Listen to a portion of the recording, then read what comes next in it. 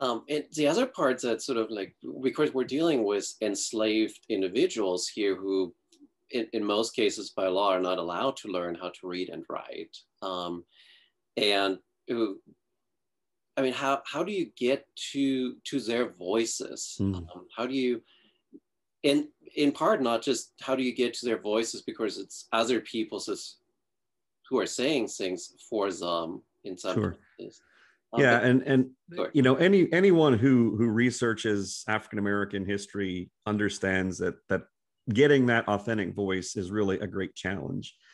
And you know going into this project um, i really was only aware of one uh, slave narrative and that was bethany veney. So bethany veney was uh, an enslaved woman from uh, page county virginia but she was out of the valley uh, and free living in uh, new england by the time the civil war broke out Mm-hmm. And I stumbled across um, this one uh, sli- this one freedom narrative published in 1872, uh, written by a formerly enslaved uh, man from Frederick County, Virginia. So that's the northern part of the valley where Shenandoah University is. Uh, his name was John Quincy Adams.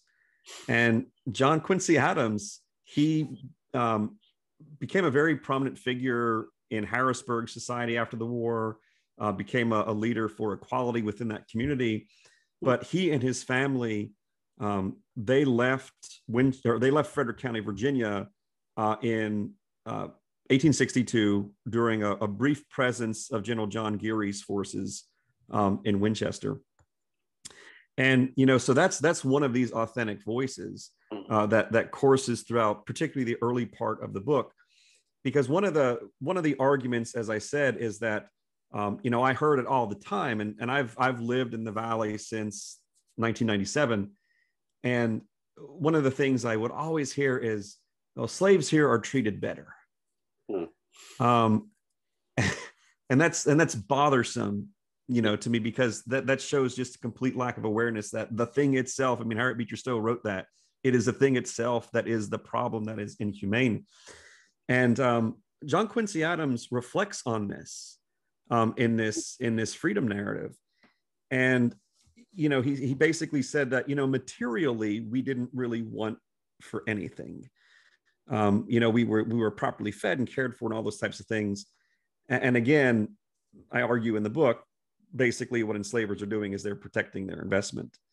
Um, but he he has this very powerful moment where he talks about how um, when whenever there would be visitors at his enslaver's home, uh, the the woman it was the the Calamise family of Frederick County, uh, the mistress of the household, she would come out and show people, you know, and she would put the hand on the head of an enslaved child or whatever the case might be, and she would say, "Well, here's fifteen hundred dollars, and here's two thousand dollars," um, and it's just you know again putting your your property um, on display. So John Quincy Adams's narrative, I, I was so happy to uh, to discover that.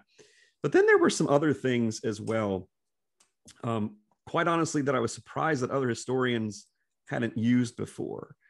Uh, so, you know, one of the the staples for any Civil War historian um, are regimental histories, mm-hmm. and you know, going through regimental histories, um, there are these there are these accounts and, and basically they're they're almost like oral history interviews. Uh, so i think about alonzo quint who was the chaplain of the second massachusetts infantry. He writes extensively about his interactions with enslaved people and you know asking them questions about what they thought about the situation and how they feel and and all of these types of things. And um, so there's a lot that that I was able to call from those regimental histories, a lot from you know the National Tribune newspapers, soldiers' reminiscences, and those types of things.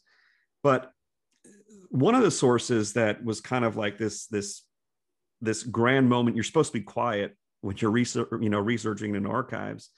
Um, but looking at uh, Nathaniel P. Banks's papers, so and again, this is kind of a shock to me that that individuals hadn't used this before. But within General Banks's papers um, at the Library of Congress, you have reports filed in late 61, early 62, where his soldiers at Harper's Ferry are recording uh, the names, the ages, physical descriptions of enslaved people from various valley communities who have run away. And also, they're, those soldiers are asking them things. You know, why did you run away? What was it like? Um, is there any information you can provide? And so, you know, looking at that little time frame, you know, late 61 into the early months of 62, basically into, you know, mid to late March, you know, we're able to get identities of enslaved people. Uh, we're able to get names of enslavers. Uh, we're able to, you know, hear through the interviews that those soldiers at Harper's Ferry conducted, um, you know, the brutality of slavery mm-hmm. in the valley, that, that they're not treated well. Um, you know, they're being threatened all the time with, with physical violence or being sold. Um, and also one of the other things that, that really struck me is not only the testimony about their experience, but the information they provided. Mm-hmm. So, you know, when you look at a community like Winchester, it is it is encircled by different earthwork fortifications throughout the course of the conflict. And so you have these enslaved people, particularly those who are coming from um, the area around Winchester, they're revealing, you know, the strength of, of Confederate defenses, what types of cannon they have in there, what sort of obstacles they're erecting in front. And all this is really important information for General Banks as as he's moving toward Winchester uh, in March of 1862. So that was really um, kind of shocking that that other historians didn't tap didn't tap that resource. I'm glad that they didn't.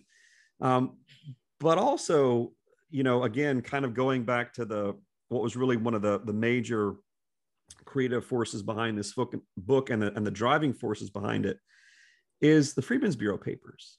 Mm-hmm. And again, you know, Ed Ayers did a did a great job in his both of his books, um, looking at those records specifically for Augusta County. But I mean, we're talking literally tens of thousands of pages of documents for all of the other counties in the Shenandoah Valley right. that that have been left untouched.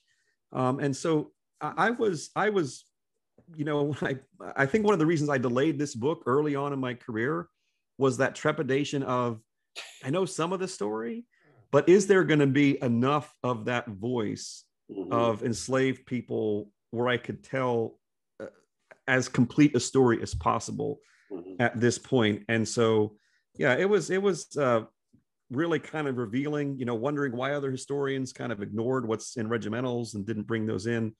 But then, you know, again, the the Banks papers, looking at uh, Freedmen's Bureau papers. There's also you know these wonderful collections at the library of virginia that enumerate um, slave property lost in 1862 and this was all collected for tax purposes and in, enslaved people fleeing away so we have you know we know if they're they're fleeing in in you know when general banks is moving south or when general fremont comes over from the the western part of virginia.